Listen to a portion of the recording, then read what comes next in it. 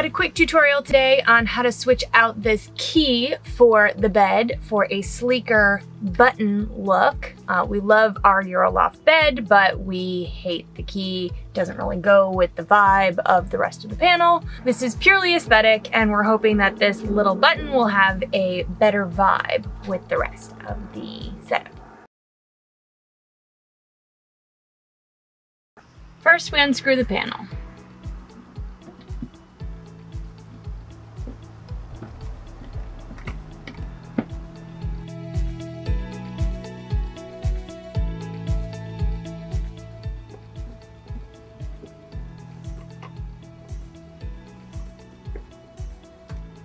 First thing we're gonna do is remove this piece so that we can get the key out.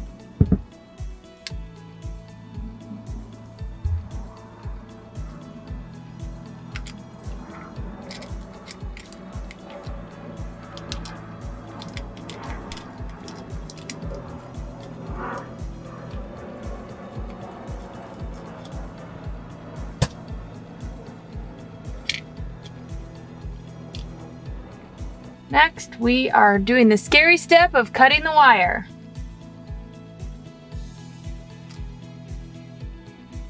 So now we're going to use a step bit to ream out this little green part. If you don't have a step bit, you can use a regular drill bit.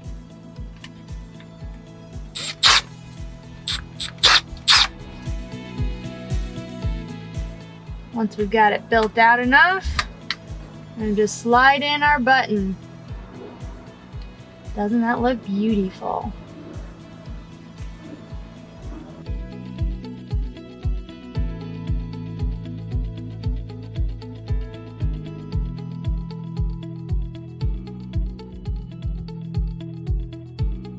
Okie dokie, so things got a little intense there. We needed all of our hands on deck, but as you can see, what we've done is soldered the white and red wire with the existing wire labeled J2.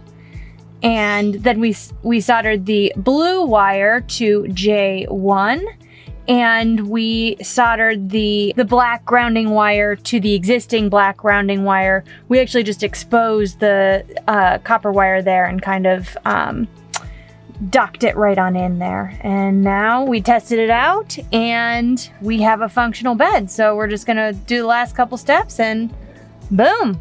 So now we've put our button all the way through our nicely uh, created hole and plugged in the socket part. Uh, note that we use a little bit of extra electrical tape just to secure everything down, as well as some heat shrinks at the places where we soldered. And this extra little brown wire, we made sure to close that off with electrical tape since we don't actually need it for this configuration, but you know, safety first. So now, we can just place this bad boy back in. We're in business. Test this out in all its full glory. Good. Oh yeah.